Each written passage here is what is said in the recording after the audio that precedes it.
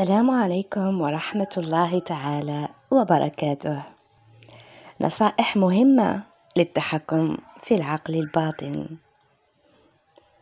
يجب استخدام طرق مجربة لبرمجة العقل الباطن وهندسة أفكاره بطريقة إيجابية.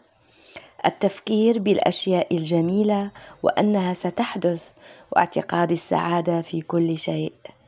القلب أيضا له دور كبير في التحكم بالعقل الباطن من خلال توريد أفكار الحب والشعور بالسعادة من القلب إلى العقل.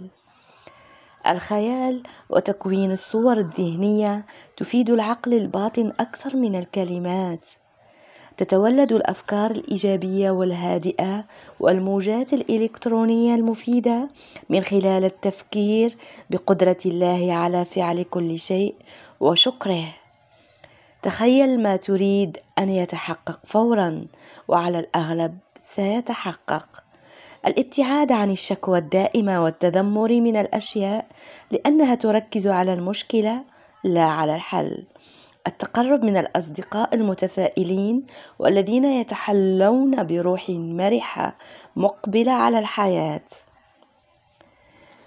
لا تنسوا اختيار من يعطيكم طاقات إيجابية رائعة. وابتعدوا عن أولئك الذين يسرقون طاقاتكم. أتدرون إنهم يبرمجونكم سلبيا وأنتم لا تدرون. وعليه تحروا. الإيجابية في كل شيء في المحيط في الكلمات في كل شيء تقرأه تنظر إليه تفكر فيه تتخيله. دمتم أحبائي!